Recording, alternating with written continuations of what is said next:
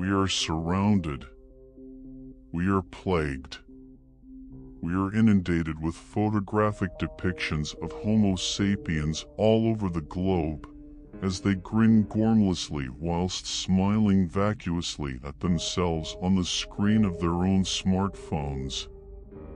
Little snapshots of a solitary moment where the truth of what the Homo sapien really is was outed in a rather comical fashion for the pouting ape that stands smirking with their camera phone held in the palm of their hand is joyfully looking at the false reality that they like to think that they are, their mirror image presented on the smartphone screen, not a true depiction of their being, but rather a reversed image that the ape deludedly thinks of as being a true reflection.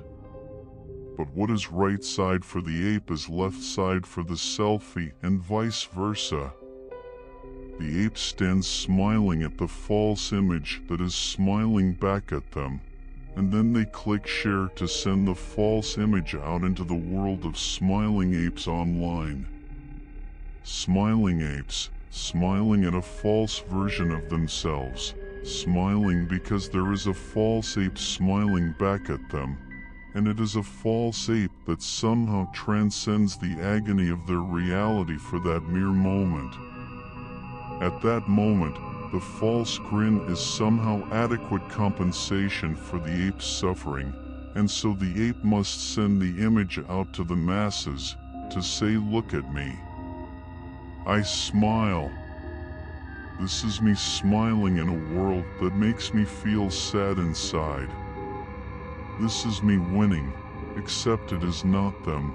It is an illusory archetype of that decrepit creature that stalks us all, the false self. A false self that flamboyantly dances in our mind's eye whilst our real suffering selves move towards our final agony. And what will we have to look back upon as we rot away in old people's homes, but memories in our deteriorating brains of these images of our false selves grinning back at us, smiling at them for betraying who we really are? Will it be worth it?